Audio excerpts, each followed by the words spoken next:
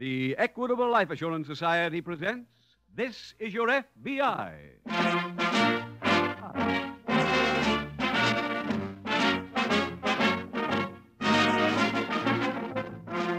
This is Your FBI, the official broadcast from the files of the Federal Bureau of Investigation. Presented transcribed as a public service by the Equitable Life Assurance Society of the United States and the Equitable Society's representative in your community.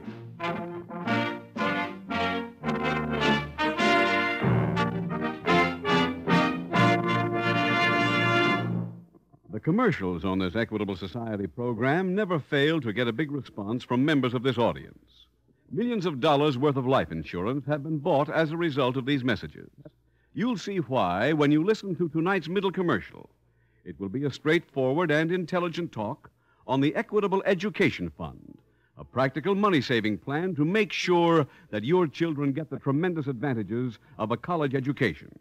If that's what you want for your family, you'll welcome this message from the Equitable Society due in about 14 minutes.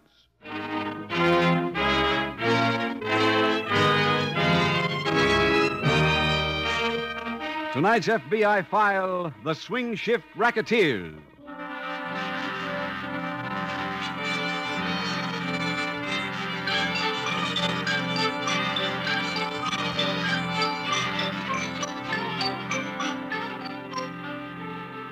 Gambling in the United States goes back as far as the history of the country. And there probably never has been an event involving an element of competition on which there has been no wagering in one form or another. Take the field of politics, for example. In the early days of the Republic, men running on opposing tickets always bet each other a new hat on the outcome of the election. From which custom we have gotten the saying to throw your hat into the ring. That kind of betting is, of course, innocuous at worst. However, the American people, and especially those who work as part of a large group in big offices or factories, have become involved in a situation which is a national problem organized gambling. In many of those places of employment, the worker wishing to make a bet need go no further than the nearest water cooler. Recently, an investigation was conducted into the gambling situation upsetting production schedules in many industrial plants.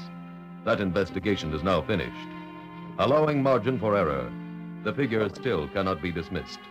For according to the survey, work done by skilled reporters, the money lost by American workmen to professional gamblers, money lost on betting on horses, the numbers game, baseball and football pool cards, and other things, in the period of the last year amounted to well over a hundred million dollars.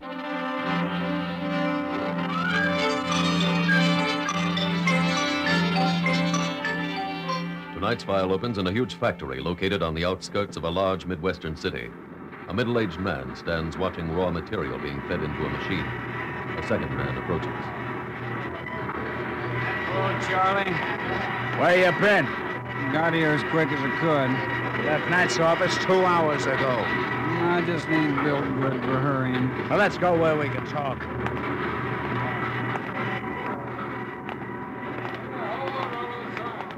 What's troubling you? Look, I wish you had my job for just one week. I don't want your job. In fact, I don't want any job. It ain't that I hate work. I just love it so much I like to curl right up and fall asleep beside it. Now, what's gnawing you? The collectors are holding out on us. How do you know? I had a guy around here all morning, making bets on one horse. Only half his action was turned into me. You talk to the collectors? No, no, that's your job. Uh, there's one of them now. Where? Guy over there, taking a drink of water. What shift is he on, Charlie? Same as me, eight to four. He ought to be fixing to quit soon. Yeah, about ten minutes. And you got no problem, Charlie. When he leaves to go home, I'll be following right behind him.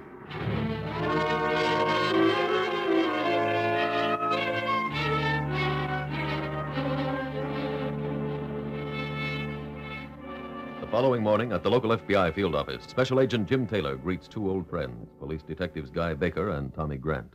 Hello, Guy. Hi, Yeah, it's good to see you, Tommy. Thanks. Got a chair around here strong enough to hold my partner? Oh, don't start that again, Tommy. This is all muscle. you two still working together.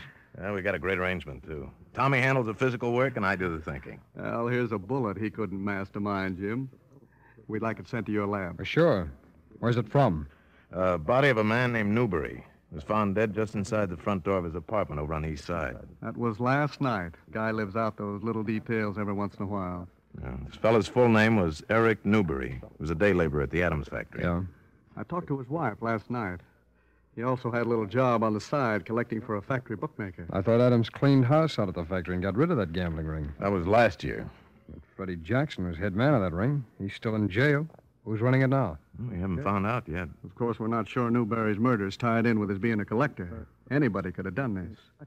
Newberry's doorbell rang last night. He answered it. His wife heard a shot. When she got to the door, the killer was gone. Well, my guess would be that there's a connection, unless Newberry was also mixed up in some labor trouble out of the factory. No, there hasn't been any of that. Mhm. See, Tommy, Jim agrees with me. The murder's hooked up with the racket. Will you have some word back on that bullet, Jim? Oh, a day or two. Fine. I'll be back. And if I can swing it, I'll come along.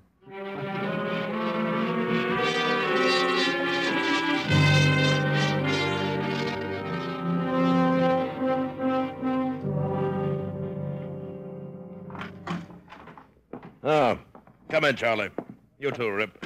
Sorry I'm late, Nat, but. Just uh, sit down. Let me finish signing these letters.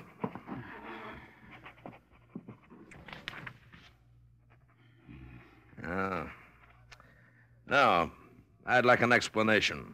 About what? That killing yesterday. That's what you wanted, wasn't it? Certainly not. Well, why did you send Rip? I told you to use him to straighten things out. Looks to me like it's straightened out.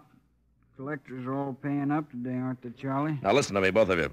We're in business. I grant you it doesn't happen to be a legal business, but it's got to be run like one.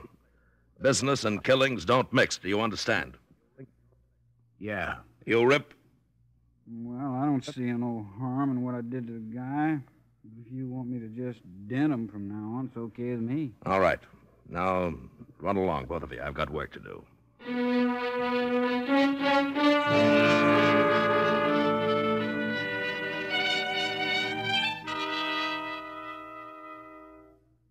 Report from the lab on that bullet, Jim? No, not yet, Tommy. Guy, is that a shiner you're sporting? Yeah. I can thank my clumsy partner for it. All I did was open my locker door. Sure, while I was bending over to tie my shoe. An old man like him ought to wear slippers anyway, shouldn't it, Jim? Now, don't put me in the middle. Oh, brother, I can't wait to start working alone again. Are you being transferred, Tommy? Nah, I couldn't get that much of a break. I'll tell you what the brain is talking about.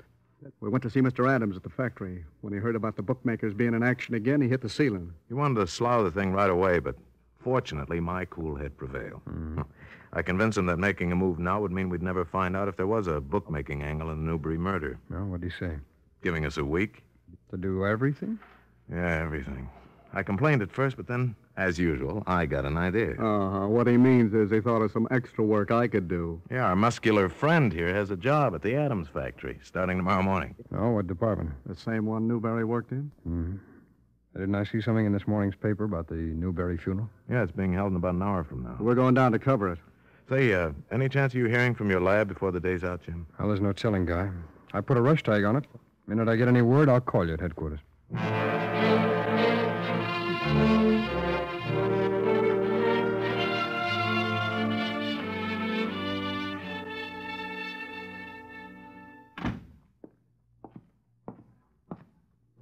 Where's Nat?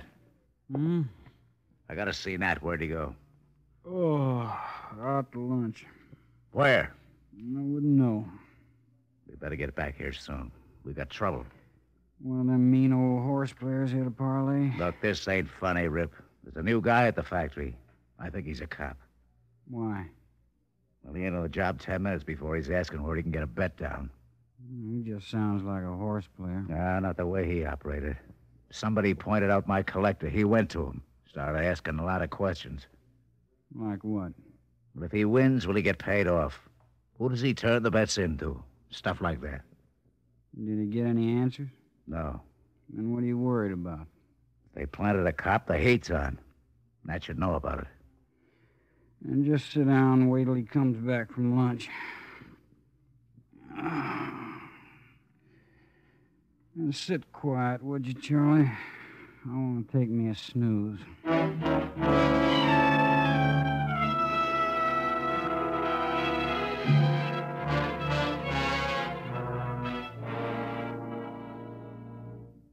Jim? Guy, I've been waiting for you. I just got a report from the lab on that bullet that killed Newberry. We're in on this thing, too. Oh, it's nice teaming up with you again. What's the FBI angle? The bullet matched a couple in our unidentified ammunition file. Came from the same gun that was used in two murders earlier this year. Where? Both of them down south. Oh, got any details? Yeah, but there aren't very many. One of the murders took place during the holdup of a grocery.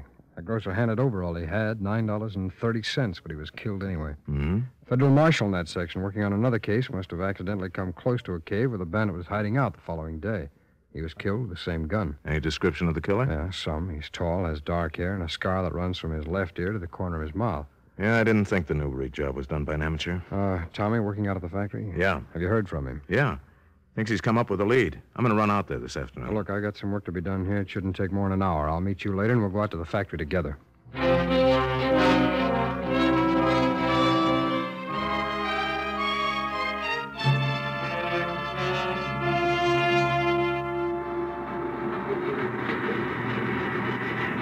Bud.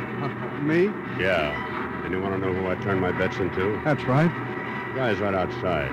Just follow me. Okay. I told him the questions you asked. Said he wanted to see you. Good. I want to see him, too.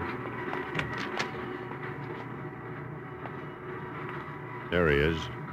The guy with the blue shirt. See you later. Hello there. Hi. See, you've been interested in betting on horses. Maybe I can tell you about it. Maybe you can. Come on, I gotta get something out of the supply room. Okay.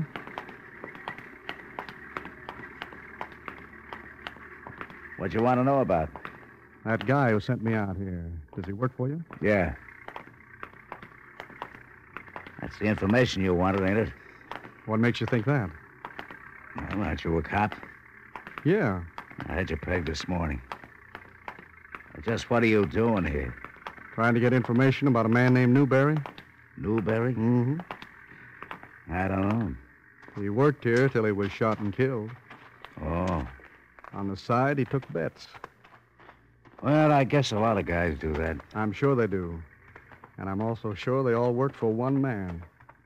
Well, I don't know who that'd be, Mac. I only got one guy working for me. You just met him. Now, excuse me, will you?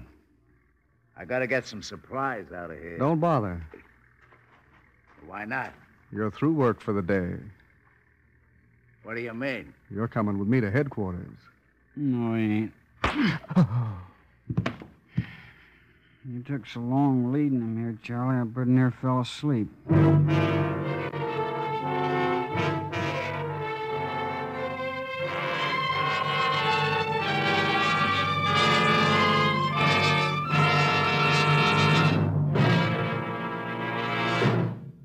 Return in just a minute to tonight's exciting case from the official files of the FBI. Now, a special message from the Equitable Life Assurance Society to fathers and mothers of young children, to the parents of the little boys and girls who will be reaching college age 10 or 15 years from now. That's when you'll hear that youngster of yours saying, Look, Dad, here's a picture of the college campus. Boy, can't you just see me walking down that path? Your boy and girl would have three good reasons for looking forward to those four years in college. First, college men and women earn more money. Believe it or not, Dad, college grads earn $72,000 more during the years they work than the fellow who has to take a job right after high school. I read it in the paper just the other day. Second, college men land the bigger jobs. What's more, Dad, it said that out of every 16 men earning $10,000 a year and up, 15 are guys with college degrees. Third, the college man gets more out of life. Everything he learns in college can be put into practical use in later life. Art, philosophy, business training, economics, history, all will help him in his progress on the road to success. Keep that in mind, father and mother, and decide now not to leave your family's education to chance. Make sure with an equitable education fund. An equitable education fund? What's that? It's the painless way to pay for your children's college education. In this Equitable Society plan, you start when your children are young. Then each year you pay a sum of money that doesn't hurt. An amount that scarcely makes a dent in your budget. When your youngster's ready for college, the money's all ready for him. That's spreading the cost of education over 10 or 15 years instead of taking a beating in four. Right. Now, suppose the father dies or becomes totally disabled. Then no more payments are necessary. The fund becomes fully established. When the youngster is ready for college, he gets the same education as if his dad had lived. So don't delay a day longer. Let your Equitable Society representative show you how little it costs to start an Equitable Education Fund. Or write care of this station to the Equitable Society. That's E Q U I T A B L E. The Equitable Life Assurance Society of the United States.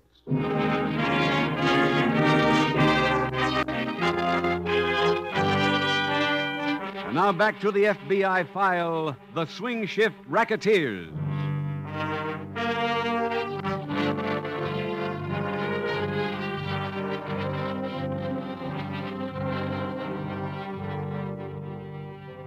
Mentioned earlier in tonight's case from the files of the Federal Bureau of Investigation, the factory in which this gambling ring operated is no exception to the rule. During World War II, when the laboring group in this country was greatly enlarged, it presented a field so lucrative, professional gamblers moved in and took over. They are still entrenched in some places.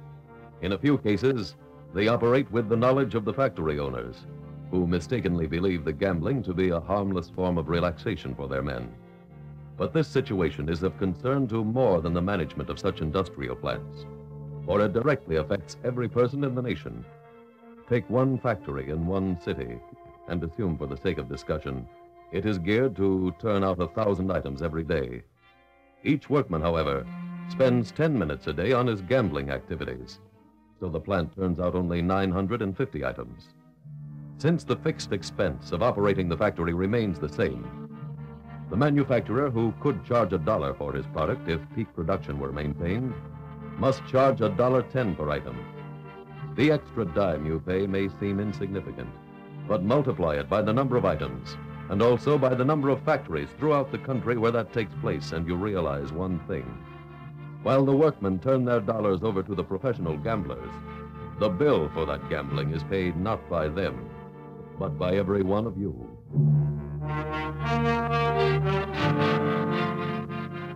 Tonight's file continues in the corridor of a local hospital a few hours later as FBI Special Agent Jim Taylor enters and meets Detective Guy Baker.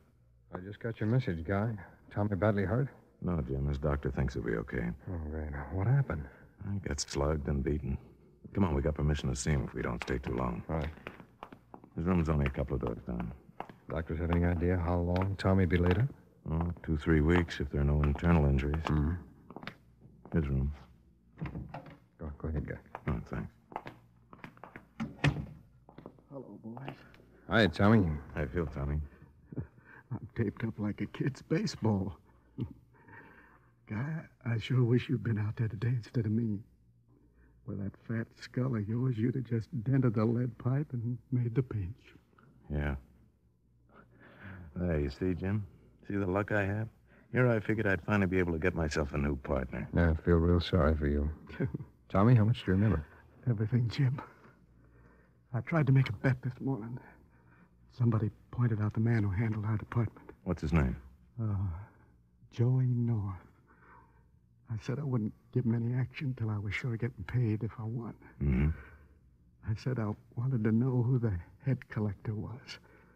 Well, this afternoon after lunch, he came and told me the head collector was outside. Yeah, go on, Tommy. I contacted him. He was on his way to a supply room. Hmm. I walked along and questioned him. It was my mistake. Well, what do you mean? He led me into the supply room. That's where I got it. He gave it to you? Mm-mm. Another lad got me from behind. I saw his reflection in the window. Oh, see his face? Well, he had a short, thin nose, long scar on his face. Hmm? I didn't really get enough of a look at him to draw his picture. But here, this is a sketch of what the head collector looks like. No, it should help. Uh, Tommy, that scar on the face of the man who slugged you, does it run from his left ear to the corner of his mouth? Hmm? How'd you know? We're looking for him, too. Well, not much doubt now, Jim, about Newbury's death being tied into that bookmaking ring. No, I guess not. Guy, how about you going back to the factory and see what you can dig up out there, huh? Yeah, okay. Meanwhile, I'll go talk to this Joey North and try to get him to identify this picture that Tommy drew.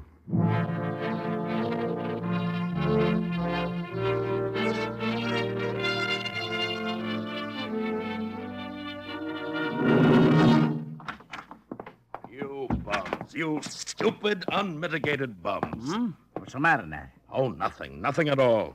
I'm sitting having a quiet dinner, and I get a call from my man at the factory. Ain't more trouble, is there? Trouble? The place is crawling with cops, and all because of you? Us? Do you have to slug a guy with a badge? Well, that was Rip's idea. I don't want excuses. I can't run my business on them.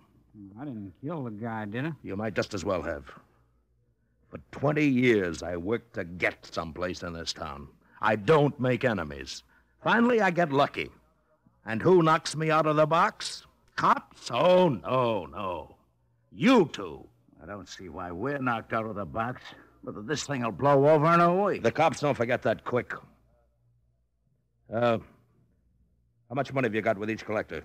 Oh, 300? Make the rounds. Collect it all. Okay. Then meet us at my apartment.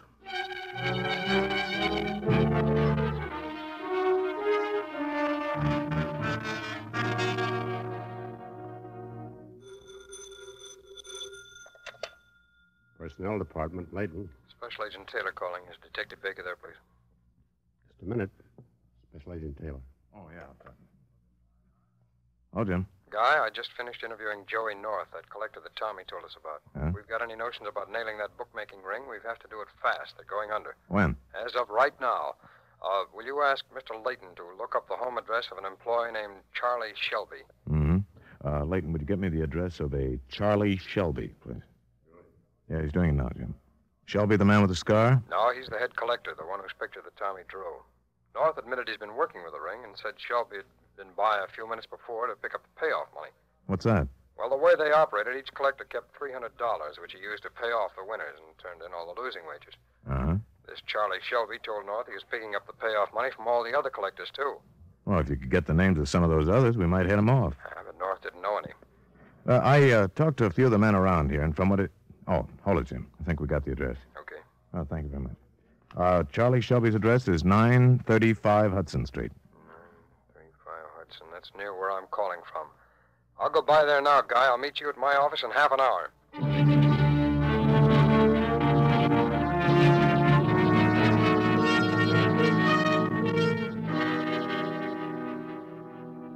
Sorry you had to wait this long for me, Guy. Oh, that's all right, Jim.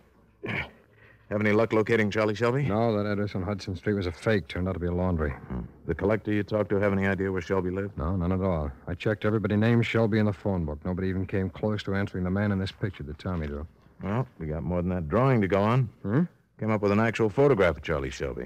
It was in his employment folder. Hey, that's great. Having copies made of it now. Did you get anything else out of the factory? Yeah, an authorization from old man Adams to offer a thousand dollar reward for Charlie Shelby's arrest. That might help nail him, all right, but it won't bring in the man with the scar, and he's really the one I want. Nobody I talked to at the factory ever saw anybody answering his description around the place. Joey North did. When? This afternoon, just before Tommy was slugged. North saw him talking to Shelby. Well, I don't know. What the people at the factory told me, Jim, Charlie Shelby wasn't the type to be head man of the ring. Well, in that case, we've got three people to catch. Well, did you get any other dope on him? Yeah, a couple of things. One of them's wrong, and the other one's just no help. What are they? One of the workmen said he saw Charlie Shelby pick up a real wad one day from a collector and say, You have another week like this, and that'll give you a bonus. Nat, huh? Yeah. Only trouble is there must be a couple of thousand guys named Nat in this town. Uh, at least. Another workman told me Shelby mentioned that he deposited the take every day after leaving the plant. That couldn't be right, Jim. He didn't get off till four, and by then the banks are closed. He worked from 8 to 4? That's right.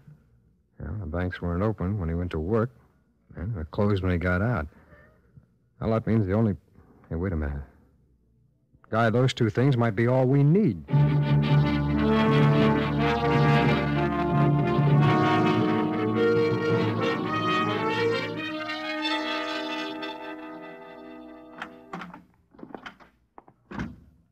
We've been worrying about you, Nat. Well, start worrying about yourselves. You're both red hot. What? On the way from the vault, I phoned the factory. The cops have been asking questions about both of you. Well, we're grabbing that choo-choo just in time. Rip, if they're looking for you at the factory, it's a cinch the cops have spotters at the railroad station, the airport, the bus terminals, and every place else. Yeah. Yeah, he's right, Rip. But we're leaving anyway. I fixed that. How? We're flying out. But you just said they're watching the airport. Let them. You know that airline flies to the track when the horses run upstate? Uh-huh. A friend of mine owns it. I called him, and there'll be a plane waiting for us. When? Pilot's picking us up on his way to the airport. Anybody mind if old Rip still don't get it? What's so tough to understand? It don't seem to me you answered Charlie when he asked about the cops watching for us at the airport. We don't leave from the municipal airport, Rip. These planes fly out of a little field just outside the city limits. Matt, you figured out yet how. Oh, that's the pilot. Come on.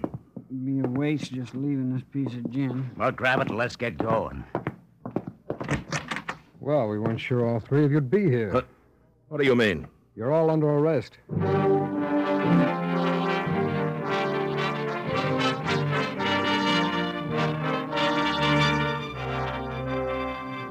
Rip Conway was tried in federal court on a charge of murder.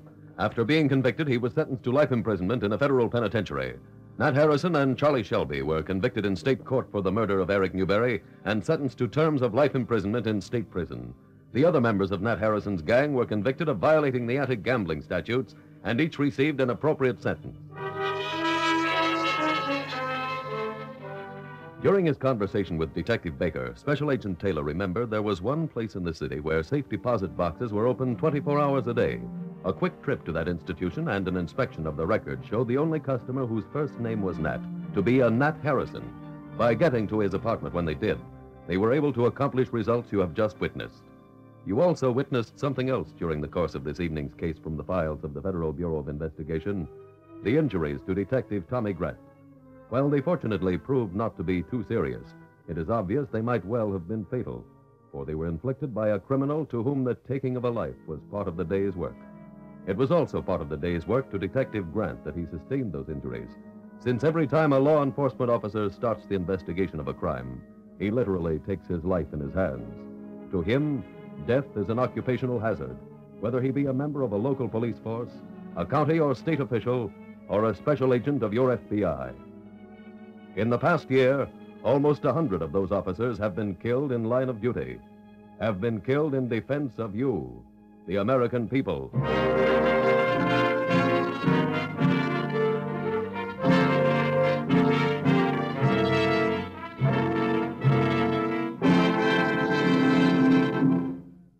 Now, one last word to fathers and mothers.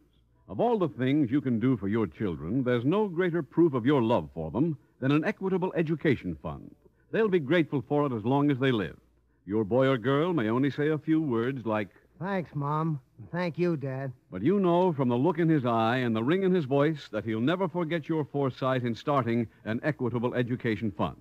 Right now, make that wise resolution to see your equitable representative soon.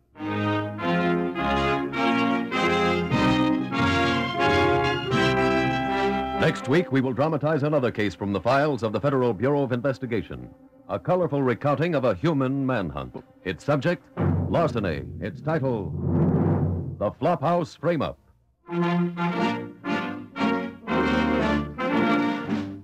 The incidents used in tonight's Equitable Life Assurance Society's broadcast are adapted from the files of the Federal Bureau of Investigation. However, all names used are fictitious, and any similarity thereof to the names of persons living or dead is accidental. Tonight, the music was composed and conducted by Frederick Steiner. The author was Jerry D. Lewis. Your narrator was William Woodson, and Special Agent Taylor was played by Stacy Harris. Others in the cast were Bill Conrad, Sam Edwards, Paul Frees, Jonathan Hole, Tony Hughes, and Edmund McDonald. This is Your FBI, a Jerry Devine production, was directed by Sid Goodwin. This is Larry Keating speaking for the Equitable Life Assurance Society of the United States and the Equitable Society's representative in your community, and inviting you to tune in again next week at the same time when the Equitable Life Assurance Society will bring you another thrilling transcribed story from the files of the Federal Bureau of Investigation. The Flophouse Frame Up on This Is Your FBI.